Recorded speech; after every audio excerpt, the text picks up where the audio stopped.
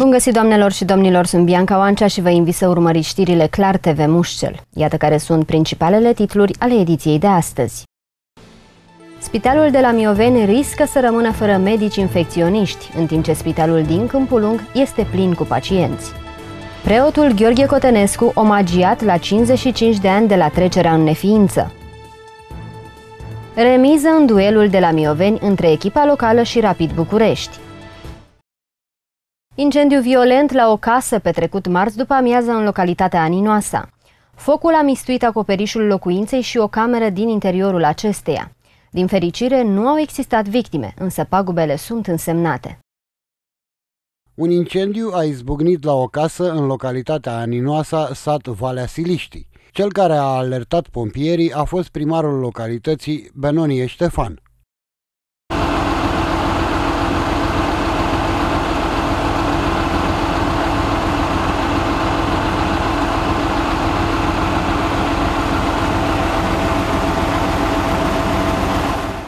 M-a sunat o persoană care arde la Valea Siliști o casă și că iese fum și de momentul ăla m-am întors din Slănic, din satul Slănic, am sunat la 112, când am sosit, oricum ardea toată casa în flăcări. La fața locului au intervenit pompierii cu două auto speciale de stingere cu apă și spumă și un echipaj cu o auto specială de primă intervenție și comandă. Detașamentul de pompieri Câmpul Lung a fost solicitat să intervină pentru stingerea unui incendiu la o locuință particulară în comuna Aninosa, sat Valea Siliștii. Ne-am deplasat la locul intervenției cu o auto specială de lucru cu apă și spumă de la punctul de lucru Aninosa, iar în sprijin cu o auto specială de lucru cu apă și spumă și o auto specială de primă intervenție și comandă de la detașament de pompieri din Câmpul Lung. La sosirea la locul intervenției am constatat că incendiul se manifesta la Uh, acoperișul uh, locuinței și generalizat la o cameră de locuit. Au ars uh, aproximativ 50 de metri pătrați de acoperiș din lemn, bunurile dintr-o cameră de locuit, respectiv mobilier, haine și alte materiale combustibile. S-au degradat țigle și tavanele locuinței. Sursa probabilă de incendiu este un scurt circuit electric. Flăcările se manifestau violent la acoperișul construcției și o cameră din interiorul acesteia, existând posibilitatea de propagare la întreaga locuință. Au ars obiecte de mobilier, tâmplărie și materiale textile aferente unei camere, tavanul din lemn al acesteia și acoperișul pe aproximativ 50 de metri pătrați. Cauza probabilă a izbucnirii incendiului o reprezintă un posibil scurt circuit electric, cablurile fiind defecte sau izolate necorespunzător. Situația infectării populației cu COVID-19 a ajuns la cote alarmante în Argeș. Spitalul de la Mioveni riscă să rămână fără medici infecționiști, în timp ce spitalul de la Câmpul Lung este ocupat în proporție de 100%. În tot Argeșul există doar 13 medici ATI. Se complică situația în Argeș în ceea ce privește spitalele și în special secțiile ATI. Numărul mare de pacienți a făcut ca deja locurile din unitățile sanitare COVID să fie arhipline. Peste toate acestea se suprapune și lipsa acută de medici infecționiști din secțiile ATI. În Argeș sunt numai 13 medici ATI, dintre care 7 la Spitalul Județean din Pitești. Situația de la Mioveni este una dramatică după ce au expirat contractele medicilor detașați în acest spital, care tratau numai bolnavi de COVID-19. Faptul că izolarea și carantinarea au fost declarate neconstituționale a dus la externarea mai multor pacienți care nu pot fi monitorizați de către autorități. Este o situație dificilă în Argeș, despre care prefectul Emanuel Soare a vorbit în ultima conferință de presă. Se fac eforturi de ceva timp pentru a se uh, convinge personal medical să se detașeze în continuare. Uh, în ciuda ceea ce mai apare prin uh, spațiul media uneori, vă spun că toate instituțiile au depus eforturi mari în acest sens. Nimeni nu este lăsat singur să lupte în această, în această chestiune Uh, s-au făcut eforturi mari de la nivelul prefecturii, de la nivelul Consiliului Județean, de la nivelul Spitalului Județean de Urgență, care până acum a pus la dispoziție cei mai mulți medici, de la nivelul Spitalului uh, Orășenesc. Toate spitalele în această perioadă au contribuit, fie cu asistente, fie cu medici, atât cât s-a putut. Inclusiv domnul primar, inclusiv conducerea spitalului de acolo, s-au făcut eforturi mari. Uh, însă, în ciuda acestor eforturi pe care noi le-am făcut, Uh, inclusiv s-au făcut eforturi la nivel național. Personal am vorbit de trei ori cu domnul uh, secretar de stat uh, Raed Arafat, care cunoaște toată această situație. Am încercat să găsim, pentru că în județul Argeș avem 13 medici atei. La Spitalul Județean de Urgență sunt șapte medici atei. Uh, asistentele, brancardieri, infirmele, toți, în general, mă rog, au fost, trans, au fost detașați de acolo. Uh, cred că s-a ajuns la o, la o anumită limită umană, pentru că medicii de acolo, să nu uităm, au fost detașați de aproape patru luni de zile. Nu și-au văzut familia, nu și-au văzut copiii, au fost în prima linie, îmbrăcați în combinezoane, au depus eforturi supraomenești. Noi am reușit să îi convingem în perioada stării de alertă de două ori să-și prelungească detașarea, dându-și acordul. Am reușit să facem lucrul acesta, dar probabil că în acest moment suntem la, la limită. Într-adevăr, uh, detașarea medicilor a expirat. Uh, parte dintre uh, cei trei medici atei care au lucrat acolo sunt în concediu, câteva zile, pentru a-și reveni și pentru a-și pune la punct mă rog, lucrurile personale. A trebuit să mutăm pacienții. În acest moment nu mai sunt pacienți în secția de ATI la la ora actuală, secția ATI de la spitalul din Mioveni este nefuncțională din cauza plecării medicilor. Despre această situație, primarul Ion Georgescu a făcut câteva precizări. Știți că până astăzi 90% din cheltuieli au fost suportate de orașul Mioveni și ar fi inuman, păcat, să nu continuăm în uh, continuare. Și vă spun și reversul. S-a închis uh, de sâmbătă secția de la Mioveni. Haideți să vedem rezultatele care vor fi peste 7-8 zile în Spitalul Județean și în secțiile uh, ATI din uh, județul uh, Argeș. Uh, erau 12 locuri, 12 persoane în care aveau cele mai bune condiții din uh, județul Argeș în tratarea uh, COVID-ului. Este păcat de investiție, este păcat de spațiu și în special că noi prin eforturile noastre locale ale orașului Mioveni, cu mici colaborări din uh, Spitalul Județean Secției Infecțioase, uh, funcționează secția de infecțioase, unde sunt peste 50 ceva de persoane pe fiecare zi. La seama în momentul în care o persoană va avea nevoie de ATI, trebuie să-l duci cu ambulanța la Pite sau știu eu, Câmpul Lung, unde ori hotărâ uh, mai mari județului. Ori înainte era coborât în uh, secția de ATI de la Mioveni. Doi, mi-au că aminte că ultimele două luni jumătate, cele mai grele cazuri au fost tratate în secția ATI de la uh, Mioveni. Peste 300 de argeșeni au plecat în secția de COVID acasă sănătoși și cu regret 18 persoane din diferite motive și diferite boli nu au mai ajuns acasă. La ora actuală noi avem doi medici ATI și doi medici ATI rezidenți care nu pot să acopere toate schimburile. Restul personalului auxiliar uh, este uh, rezolvat. Deci, practic, mai aveți nevoie de doi Avem nevoie de doi medici ATI. Dacă de la un spital, de la o asociație a medicilor uh, ATI, Există disponibilitatea de a veni o echipă de patru medici și mai bine. Cei doi rezidenți vor lucra și cu uh, dumnealor. Situația cazurilor infectărilor cu COVID-19 a depășit 1000 de persoane, iar cât privesc persoanele decedate, s-a ajuns la 58. Argeșul se află deja în zona roșie a infectării cu coronavirus, iar spitalul de la Câmpulung este ocupat în proporție de 100%. Expoziție inedită în holul complexului comercial Big Small. Cu ocazia împlinirii a 55 de ani de la trecerea în neființă a preotului martir Gheorghe Cotenescu, au fost expuse pe simeze fotografii, diplome și documente inedite despre acest martir al închisorilor. Publicul mușcelan are ocazia să vizualizeze o expoziție cu fotografii, diplome și documente care ne amintesc de cel care a fost unul dintre martirii închisorilor comuniste, preotul mușcelan Gheorghe Cotănescu. Este pentru prima dată când în holul complexului comercial Big and Small se desfășoară o astfel de manifestare culturală. Au trecut 55 de ani de când preotul capitan Gheorghe Cotănescu a trecut la cele veșnice. Puțini știu că acesta a fost o personalitate marcantă a vieții sociale, culturale și spirituale din Mușel. Alături de Nicolae Steinhard și Justin Pârvu, Gheorghe Cotănescu a fost unul dintre martirii închisorilor comuniste.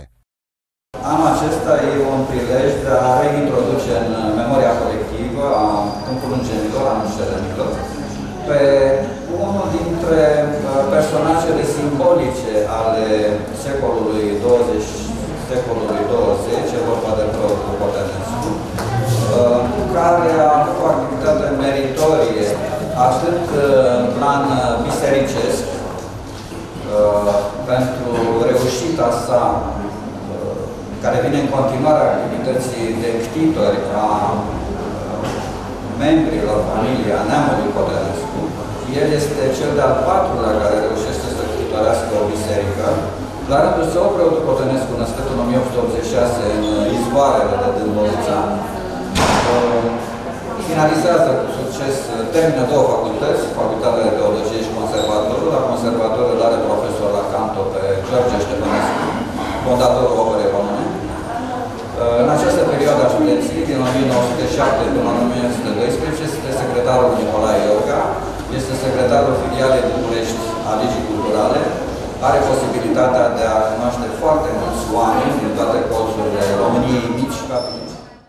Personalitatea preotului Gheorghe Cotenescu a marcat viața culturală și religioasă a societății de la trecerea dintre secole membru în conducerea mai multor societăți profesionale și culturale de la începutul secolului al XX-lea, organizează și animă numeroase evenimente promovate de acestea atât în vechiul regat cât și pe teritoriile locuite de români. Bine văzut de toți și apreciat pentru cultura, râvna și aptitudinile sale didactice, deși nu era profesor universitar, a fost invitat în repetate rânduri de cărturarul Nicolae Iorga și de comitetul de organizare să conferențieze la Universitatea Populară de la Vălenii de Munte în perioada 1932-1946. Încrederea pe care i-a acordat-o profesorul Nicolae Iorga încă din studenție, fiind primul său secretar particular în perioada 1907-1912, l-a determinat să accepte și delicata sarcină de organizare, după război, a secției mușcelene a Partidului Naționalist Democrat, fiind ales deputat de Mușcel 1931-1932, alături de Constantin Ice Brătianu și Ion Mihalache. Am uh, rupt puțin uh, seria de expoziții de pictură cu această expoziție de fotografie. Uh, suntem încântați că, iată, diversificăm activitățile și mai ales expunerile în locurile unde ne-au fost oferite pentru a expune lucrările noastre. De data aceasta, o expoziție de fotografie a Uh, realizată de profesorul Radu Petrescu cu uh, imagini și documente ale uh, vieții părintelui profesor Gheorghe Cotenescu. De fapt, expoziția este in memoriam 55 de ani de la trecerea în veșnicie a părintelui profesor Gheorghe Cotenescu. Uh, important în această uh, expoziție este faptul că uh, a fost relatat într-un mod foarte atent și de înțeles, în mod cronologic și istoric, evenimentele și etapele mai importante care au adus un sacrificiu, pot să spun, care prin suferința respectivilor ca, uh, care au intrat în contextul preotului Gheorghe Cotenescu, uh, au adus prin suferința lor, să spun, uh, o eliberare sau un gând de liniște sufletească celor care îi iau pe ace- îl iau pe acesta și pe mulți alții ca exemple în conduita lor, în viața lor. Uh, alături de fotografia uh, preotului uh, au mai fost stânga-dreapta încă doi mari duhovnici ai neamului nostru, respectiv Nicolae Steinhard și Justin Pârvu. Preotul Gheorghe Cotenescu simte nevoia să facă ceva și îi sprijină logistic pe partizanii din munții Mușcelului, conduși de martirul colonel deblocat Gheorghe Arsenescu. Rețeaua informativă a securității și miliției îi identifică rapid rolul și este arestat în primul lot de mușceleni, fiind condamnat în mai 1950 după 14 luni de anchetă. Umilințele suferite în anchetele nesfârșite și cruzimea călăilor din închisorile comuniste de la Pitești și Câmpul Lung îi afectează grav sănătatea, dar nu îl zdrobesc sufletește.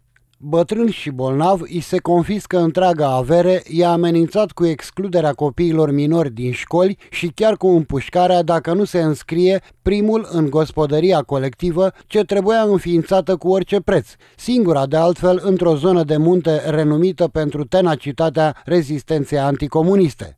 Ultimii ani ai vieții sale de paria al unei societăți dezumanizate și petrece în mari lipsuri și suferințe, mai mult prin spitale, alături de scumpa sa soție Elisabeta, născută Răuțoiu. S-a stins din viață în 1965.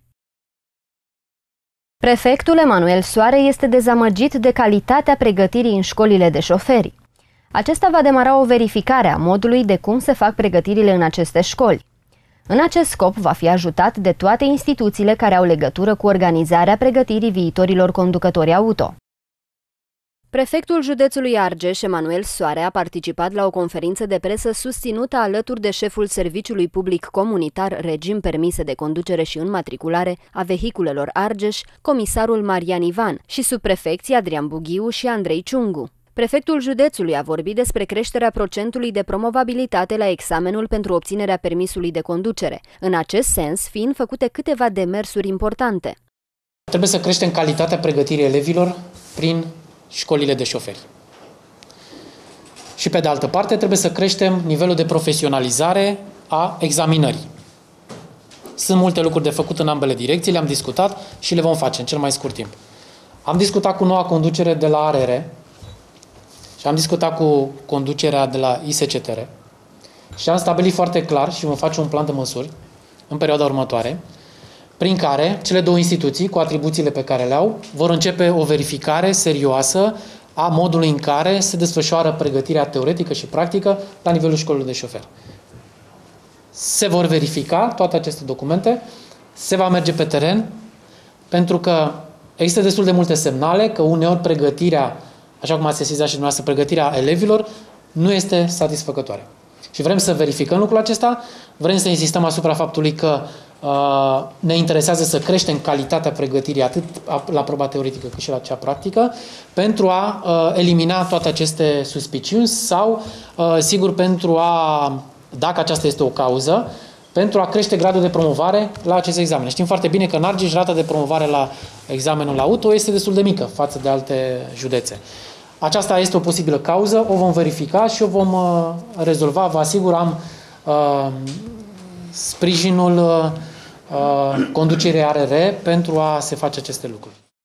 Șeful Serviciului Public Comunitar Regim Permise de Conducere și Înmatriculare a Vehiculelor Argeș, comisarul șef Marian Ivan, susține că în luna iunie, de când s-au reluat examinările la proba practică pentru obținerea permisului auto, au fost examinați 2104 candidați. Cifra ne plasează pe locul 3 pe țară, în plus fiind examinați la proba teoretică 90 de candidați. Până în prezent au fost eliberate 2467 de permise de conducere, 3064 de certificate de înmatriculare și 1682 de autorizații provizorii de circulație. La proba practică, pentru ca tot mai mulți argeșeni să poată susține examenul auto, se lucrează cu 12 examinatori. Săptămâna trecută, la Câmpul Lung, procentul de promovabilitate a fost de 46%, iar la Pitești de 39%. De la reluarea examinărilor la proba practică pe 2 iunie, în Argeș au promovat sub 40% dintre candidați.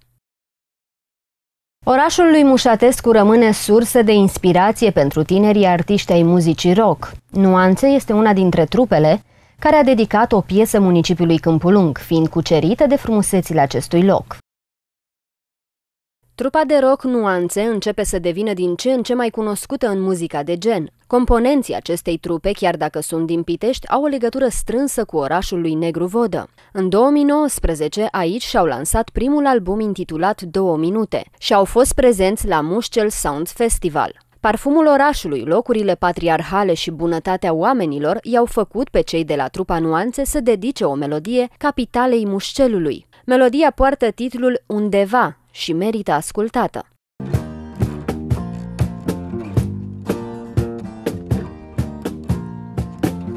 În orașul cu lumine aprinse Cu copaci în loc de flori au vise Unde vara e cald, dar și zăpadă Unde nu-i niciun om trist la vreun colț de stradă Unde nu sunt nori sau blocuri gri Unde auzi doar sete de copii Numai fete dulci pe bulevard Te salută cu un zâmbet car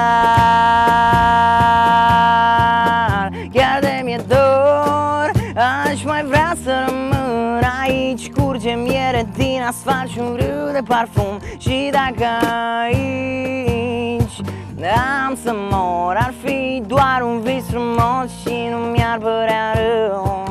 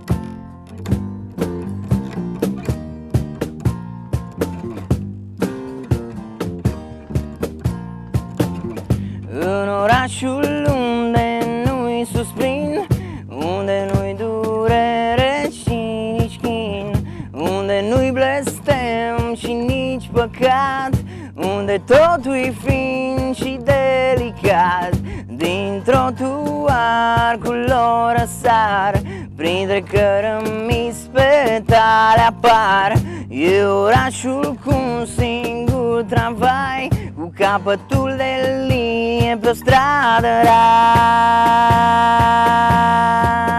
Chiar de mi-e dor N-aș mai vrea să rămân aici. Curge miere din asfalt și un râu de parfum. Și dacă aici am să mor Ar fi doar un vis frumos. Postul nostru de televiziune Clar TV va difuza în curând o emisiune cu membrii trupei Nuanțe.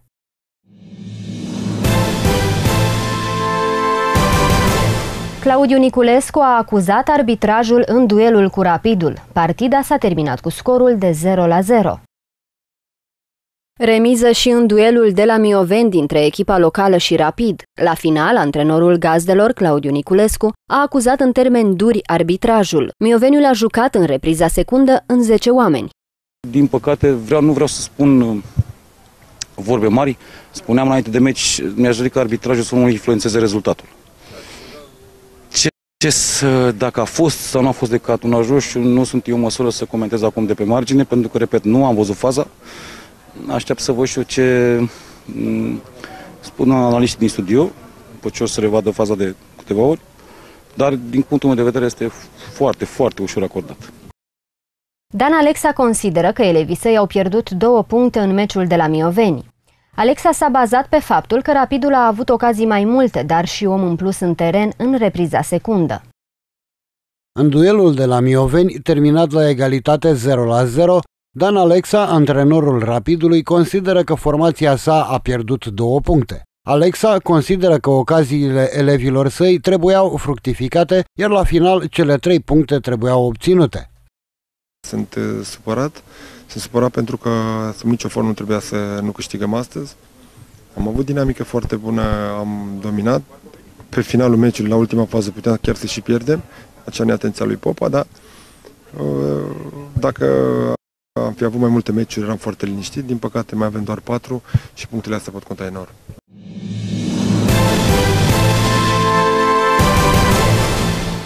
Pentru ziua de mâine, meteorologii anunță vreme frumoasă în județul Argeș cu mult soare, dar și câțiva nori și temperaturi ridicate. În nordul județului, la Nucșoara, avem temperaturi de până la 23 de grade Celsius. La Mușetești și la Domnești avem temperaturi ceva mai ridicate de până la 27 de grade. La Dârmănești se vor înregistra 29 de grade, iar la Câmpul Lung vom avea 25 de grade Celsius. În sudul județului, maximele se vor înregistra la Râca. Aici vom avea 30 de grade Celsius. De asemenea, piteștenii au parte de vreme frumoasă cu temperaturi de până la 29 de grade. Și în județul Dâmbovița avem soare și temperaturi ridicate. În nord, aceste temperaturi se vor încadra între 23 și 27 de grade la Voinești, iar în sud avem maxime de până la 29 de grade. La Târgoviște se vor înregistra temperaturi de până la 28 de grade. La noapte apar câțiva nori pe cer la Câmpul Lung, iar temperaturile se vor încadra între 11 și 12 grade Celsius. Mâine și poi mâine avem în continuare vreme frumoasă cu temperaturi ridicate, ce se vor încadra între 25 și 26 de grade Celsius. Și sâmbătă soarele va fi prezent și ne aduce temperaturi de până la 27 de grade. Atât pentru astăzi, eu vă aștept și mâine cu alte informații despre vreme.